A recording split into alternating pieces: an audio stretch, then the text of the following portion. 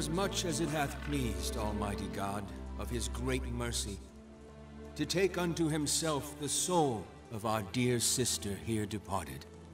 We therefore commit her body to the ground, earth to earth, ashes to ashes, dust to dust, in sure and certain hope of the resurrection to eternal life through our Lord Jesus Christ, who shall change the body of our low estate, that it may be like unto his glorious body.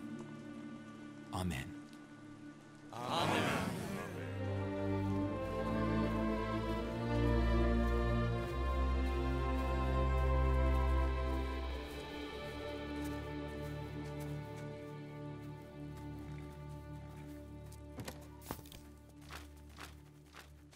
Mr. Wayne?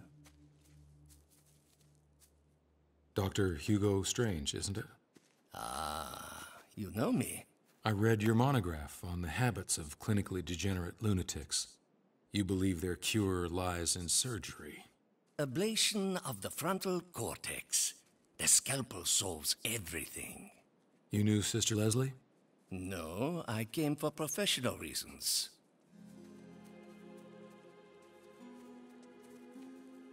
He is here. I am certain of it. Jack. His sick mind burns with a hatred of all that he sees as evil and wicked. Hatred of women, a hunger that never dies. It is strong, overpowering. You know who he is.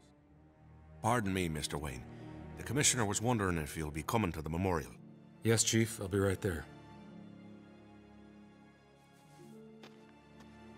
Well?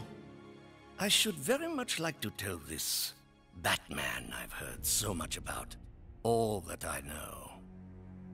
Then why come to me? You know everyone in town, Mr. Wayne. I'm sure you could find a way to tell the Batman to come to my office. Tonight. Midnight. Strange, I don't know who.